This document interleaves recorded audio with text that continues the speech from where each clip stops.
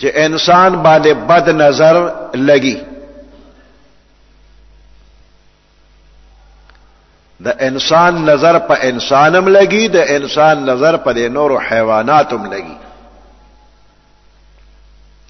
نو نقصان رسیږي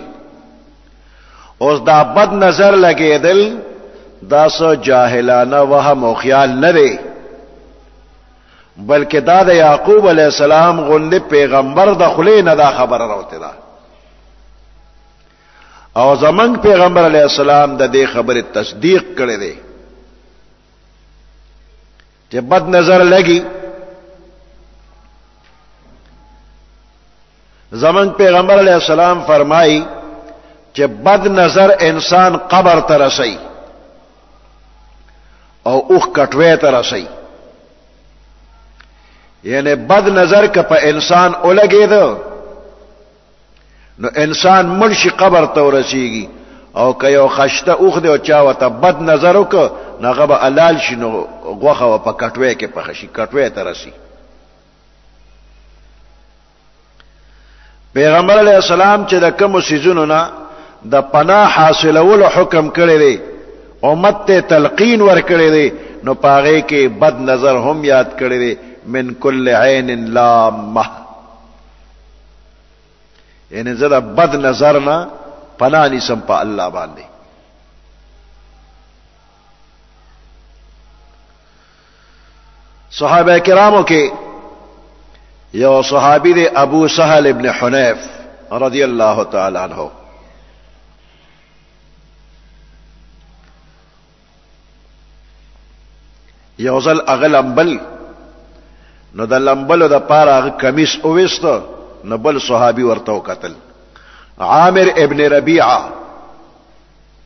هغه چې وتو قتل نو دا هغه خلینه دا خبره او خطلا چې ترنن ورځې پورې داسې خشته بدن ما چته لیدلې نه دی دی وینا سره سهل ابن حنیف ابو سهل ابن حنیف هغه باندې سخت تبراله او پرې وته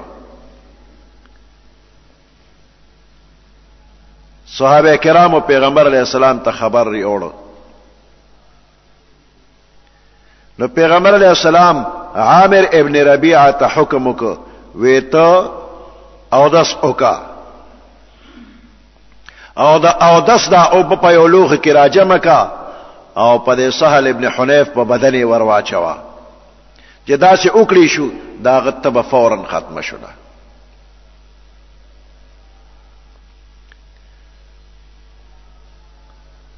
په دې واقعا کې پیغمبر علی السلام عامر ابن ربیعه تا تنبیه هم ورکړلا علامه یقتل احدکم اخاه یو کس خپل رور ولی وجنی چې د نظر کې وجنی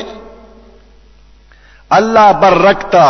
تا د برکت دعا ولې نه کولا چې تا ته خشتخ کار شون تا به د برکت دعا کړې و ان العين حق بد نظر لګیدل دا حق دی نو دې حدیث نه معلومیږي چې که یو بنده ته د بل بنده جان مال کې سو خشتخ کار شو تعجب په وکړو نو دل پکار دی چې دعا د برکت وته وکي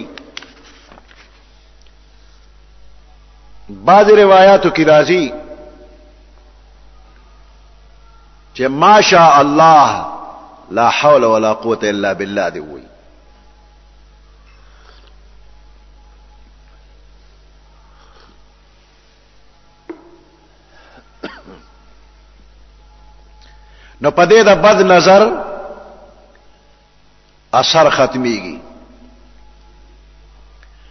او د حدیث مبارک نه طریقه معلومیږي چې چا د نظر کړې نو د نظر باز ته وای چې چاره دا موکا او د نظر باز د چاره دام او براوالا چې دا پچا نظر لګېدل داغه په بدن واچوا اثر به تنه لري شي دغه طریقه شریعت خولې ده دا سینا چې چا دا نظر کوي د پرتغاخ تار را چې وېس وځوته دا پکې نشته د نظر باز د پرتغاخ تار مس وځوا دې کې څه نشته بعضې د نظر باز ته یاله لاړې وته توکه لاړې وته توکه په بنده لاړې تو کې دا خو خنه ده سو کوئی ورشه د نظر باز چې کوم دی قدم پورته کې پاغه دی میخ ټکوا دا خبرې نشته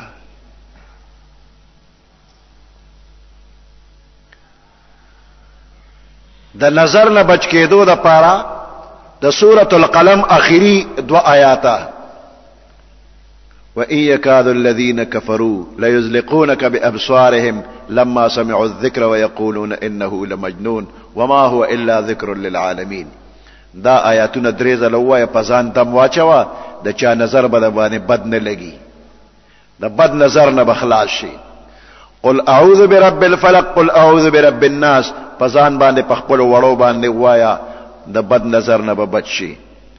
کدا چا د خص اولیدل وای ماشاء الله الله به هغه بندا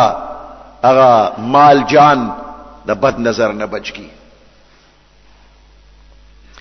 باز ځوانانم لاس ته تور تار واچي دا خبروم ټیک نه ده چې دا وړې تور تار د لاس نه توکا دا نه زنانه ولا خره ولا ناری نه ولا خره ته ځان خبره مکوا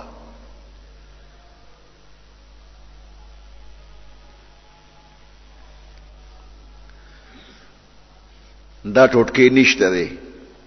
بعضې وایي دا اغا ناوی چې مور پلاریم جم دی وی او سخر خواخیم جم دی وی دا غې د پیوی تار لړو د لاس توکا دا خبرې نشته پکې قران حدیث چې د تکم علاج خول دقه وکړه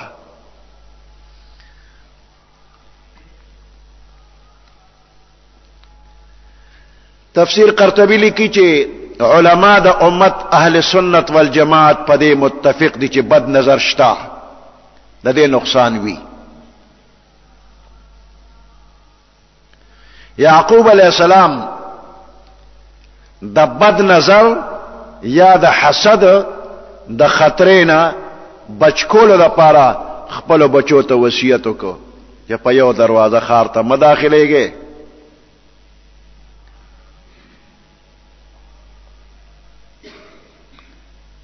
حفاظت د ځانو کې